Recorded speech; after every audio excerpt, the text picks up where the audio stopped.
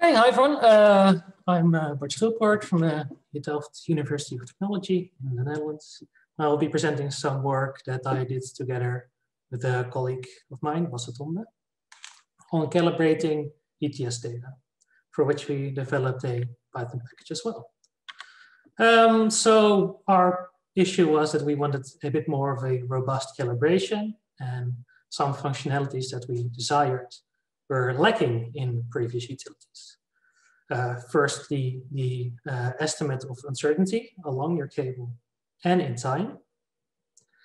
And uh, that translates to confidence intervals of temperature as well. You can use this information to do a weighted calibration, which I'll come back to later. And we want to uh, estimate these parameters using measurements from all time steps. So not just calibrating each single measurement in time separately, but all together. And we need, like uh, Scott mentioned, some advanced routines to, for example, correct for step losses. And lastly, we wanted this to be a free uh, open source software, which is available online for everyone to use and look at and modify or integrate in your own routines. So, so to start with, we need to define what we can set as a constant in time. Um, the others already previously talked about this. Gamma should be relatively constant.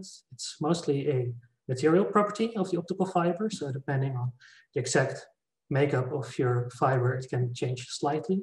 However, on long time scales, as your fiber degrades, it could change a bit. But generally, that's not a worry of us in our setups, especially on daily or weekly timescale sets, uh, basically constant. So the C parameter will vary in time as the DTS device's properties change with temperature or as the connectors vary in temperature. And lastly, um, the different uh, attenuation can be constant in time. However, only when strain remains constant. And this depends on the time scale you're looking at and the environment you're measuring For example, as some people do, you can have a fiber placed in on a stream bed. However, if some high flow passes by and your cable shifts and you have sediment shifting or branches, um, the strain will change that the fiber is experiencing. And that means that um, the differential attenuation will change. So you'll have to break up your calibration in steps to deal with this changing differential attenuation. So the double-ended calibration as, uh, is nice to be able to estimate or actually calculate the differential attenuation, which is very useful as it will vary along the length of your cable as your cable experiences bends or tension. And the most important thing is that it leads to an unknown uncertainty in single-ended measurements. You don't know how exactly the lack of information on differential attenuation is affecting your measurements. And in longer cables, this error will add up and uh, uh, become bigger, while in short setups, it generally is not a big issue. But luckily, we can actually just calculate the differential attenuation as we know that the temperature from the forward channel and the backward channel should be the same at the same point in the fiber. I am not going to go over the equations here, it's a bit too long, but uh, there's uh, it's explained in detail in some other papers. So now back to the confidence intervals. There are two main factors affecting the uncertainty in your final temperature estimation. Um, the first one being the noise in the Stokes and anti-Stokes measurements from the uh, random distribution of how many photons you get back, uh, like optical shot noise. And there can be some uncertainty from your estimation of your parameters. So how we deal with the noise in the Stokes and anti-Stokes measurements in our uh, method is that we take the measured Stokes and anti-Stokes intensities along the cable and in time, and use the fact that reference sections and the temperature are known and that they are very constant. With this, we can derive the relationship between the signal intensity and the variance of the Stokes and anti-Stokes signals. And as this is mostly a property of the DTS detectors themselves, it doesn't really depend on the channel or um, along your fiber. So you can make this relationship and it will hold for uh, your along your entire cable, forward and backward channels, uh, although it can vary a bit through time. Uh, so by determining this relationship, we can then actually calculate the measurement uncertainty in time and space along your entire cable. So you then have to use this for the calibration routine. Uh, so again, the same equation where you have the temperature of your known locations, gamma parameter, the log of your uh, Stokes power over anti-Stokes power, C parameter in your integrated differential attenuation. You can rewrite this so you put your Stokes observations on the left-hand side, any other uh, variables on the right-hand side, and this is uh, then rewritten as a linear combination of your unknown parameters, which you can then put into a very big matrix.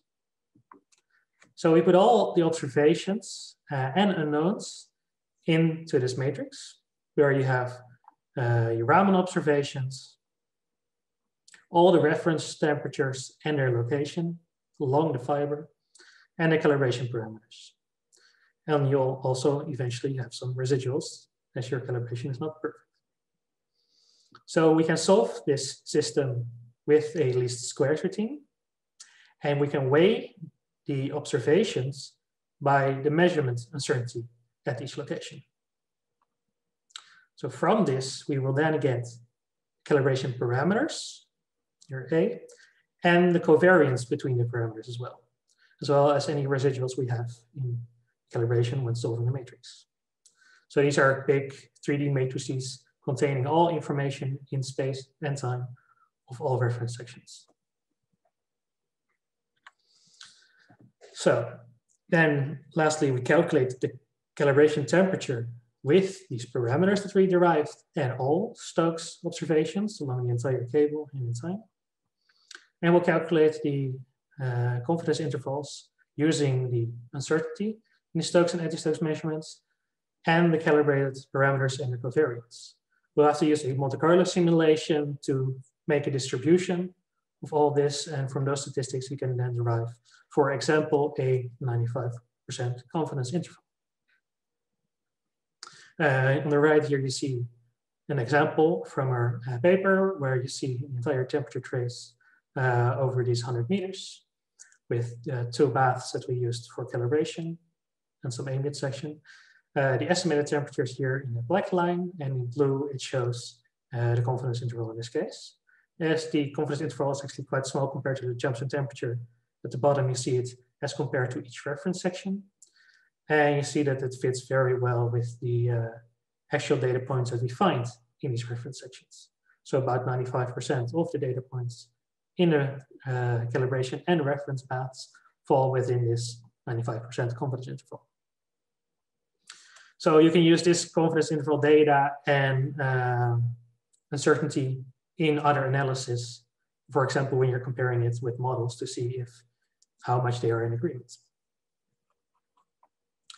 And an added bonus of this weighted calibration is that we can uh, improve the estimation of the double-ended uh, method. So um, you saw before that if you average you take a normal mean of the forward channel and backward channel, the least noisy will be in the center, here denoted as the arithmetic mean, while closer to your device, on the forward and the backward end, it will be noisier. However, you can average these two, or take the mean of these two, by weighing them with the known variance, which will lead to an optimal estimation of your temperature. So you get rid of the problem that you have a lot of noise near your machine with double-ended measurements. So there's no really, not an excuse anymore not to use the uh, double-ended. Um, and besides that, if you have a bit of a noisy calibration bath, uh, it will also affect your calibration less. Uh, you can note here probably also that the uh, forward channel seems to have a higher uncertainty than the backward channel. We often see this as the connectors, uh, one connector can be slightly more lossy than the other connector in a machine. And they'll both vary a bit over time as well. One minute left? About a minute left. Okay. So uh, advanced routines, uh, you can correct for step losses by taking into account into the calibration. They can be asymmetrical is what we found, which is, uh, don't think mentioned before that often. Um, and it can vary over time.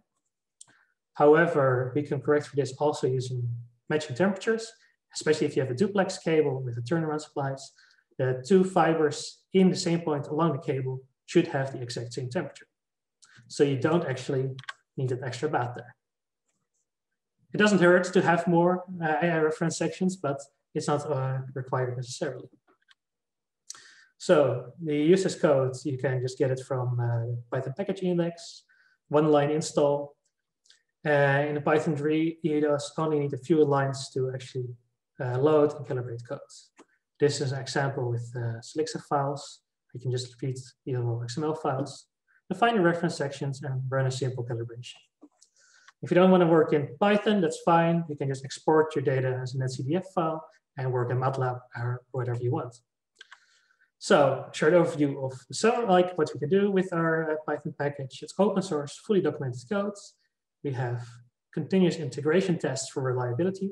Any changes to the code will be tested if they actually uh, still work and properly calibrate data.